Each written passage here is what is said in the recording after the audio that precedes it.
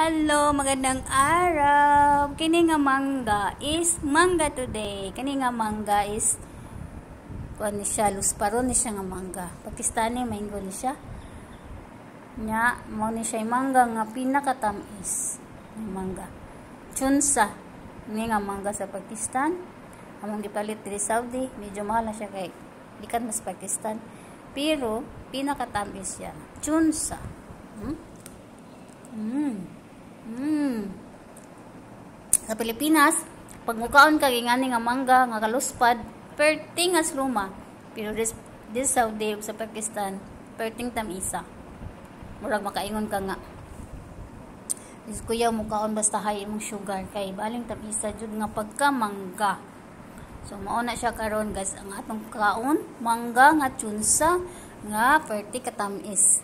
Wala ra ko ni plato kay dali-dali ra ni. Mm. Hmm. Hmm. Tamis kaayo. Nga pagkamangga. Hmm.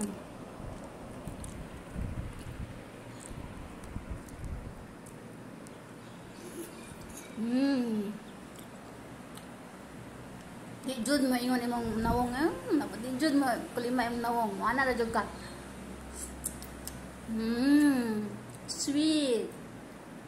So sweet. See? Mmm, sweet mango. Ano na siya? Kapit na mahurot. Mmm, sweet mango.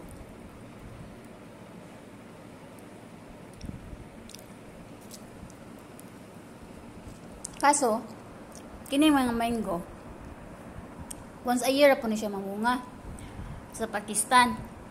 Masummer ra. June na siya mugawas. Dili sa Pilipinas Pilipinas nga ginabumbahan aron whole year raw na mango. Kini siya nga mango.